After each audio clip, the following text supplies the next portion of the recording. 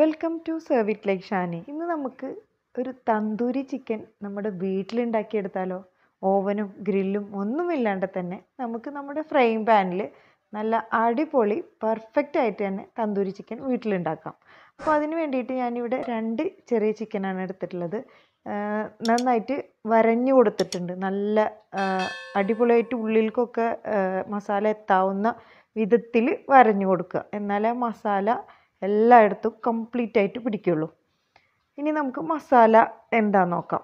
അപ്പോൾ അതിന് വേണ്ടിയിട്ട് മൂന്ന് tablespoon Kashmiri chilli powder ഒരു ടീസ്പൂണ് ചെറിയ ജീരകത്തിന്റെ പൊടി ഒരു ടീസ്പൂണ് ഗരം മസാല അതുപോലെ തന്നെ ഒരു ടീസ്പൂണ് കസൂരി മെത്തി ഒരു ടീസ്പൂണ് കുരുമുളക് പൊടി അര ടീസ്പൂണ് ജാതിക്കട പൊടി പിന്നെ അതുപോലെ തന്നെ രണ്ട് ടീസ്പൂണ് മല്ലിപ്പൊടി എല്ലാം കൂടെ ഉള്ള ഒരു മസാലയാണ് ഇത്. പിന്നെ വേണ്ടത് രണ്ട് നാരങ്ങയുടെ നീര്. അതുപോലെ തന്നെ ഒരു ഏഴെട്ട് വെളുത്തുള്ളിയുടെ പീസ് അതുപോലെ തന്നെ ഒരു പീസ് ഇഞ്ചി നാല് പച്ചമുളക് ഒരു ഹാഫ് സവാള.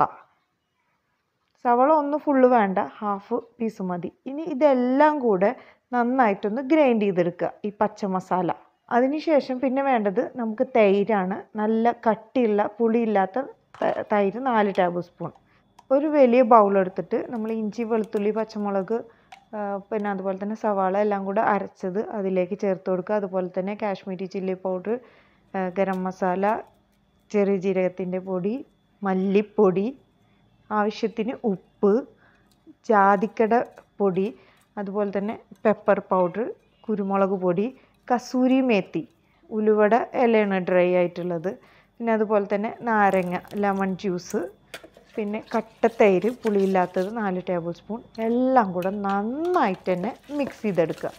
എന്നിട്ട് ഇനി നമ്മൾ വരച്ച് വെച്ച ചിക്കൻ പീസസ് ഓരോന്നോരോന്നായിട്ട് എടുത്ത് മസാല നന്നായിട്ട് തേച്ച് പിടിപ്പിക്കുക. തന്തൂരി ചിക്കനിലെ മെയിൻ ഒരു ഹൈലൈറ്റ് എന്ന് പറയുന്നത് അതിന്റെ മാരിനേഷനാണ് അപ്പോൾ മാരിനേഷൻ കറക്റ്റ് ആയിട്ടില്ലെങ്കിൽ തന്തൂരി ചിക്കനും കറക്റ്റായിട്ട് നമുക്ക് പെർഫെക്റ്റ് ആയിട്ട് കിട്ടില്ല അപ്പോൾ മാരിനേഷന്റെ പൗഡറും അതുപോലെ തന്നെ നമ്മൾ മാരിനേറ്റ് ചെയ്യുന്ന രീതിയൊക്കെ കറക്റ്റ് ആയിരിക്കണം. അപ്പോൾ എല്ലാ ചിക്കനിലും നന്നായിട്ട് മസാല തേച്ച് പിടിപ്പിച്ച് ഞാനിവിടെ ഒരു ഒന്നര രണ്ട് മണിക്കൂർ റെസ്റ്റ് ചെയ്യാൻ വെച്ചിട്ടുണ്ട്.